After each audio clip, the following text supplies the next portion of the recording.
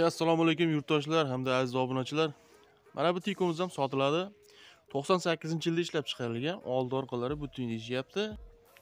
4 ta balonlarimiz ham yangi. Kraskasi tomdan pastda освежит bo'lgan deyishyapti. Mana mana salonlarimiz, Matiz sideniyalar qo'yilgan, linonin polik chexollar ham hammasi yangi qo'yilgan.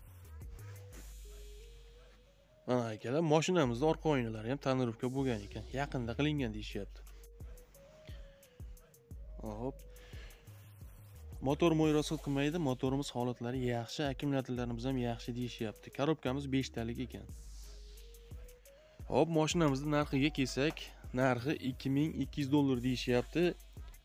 Qolganini kelishamiz, bemalol aloqaga chiqishaversin deyishyapti.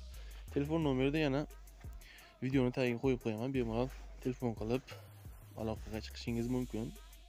Salonlarimiz mana bu tarafdan ko'rinishi, mana patolog holatlarimiz ham yangi qilingan. Stoykalarimiz holatlarini ham ko'rishingiz mumkin.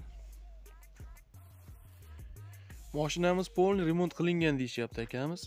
Hech qanday kamchiligi yo'q ekan akalar, tayyor holatda. Mashina Qo'qon shaharining mashinasi do'stlar. Ma'lumot o'rnida eslatib o'taman. Agarda sizlarda ham sotiladigan texnikalar bor bo'lsa, Telegramdan videosini menga tashlab qo'ysangiz, YouTube kanalimda bepul reklama qilib beraman. Mayli ko'rishguncha, xayr, sog' bo'linglar.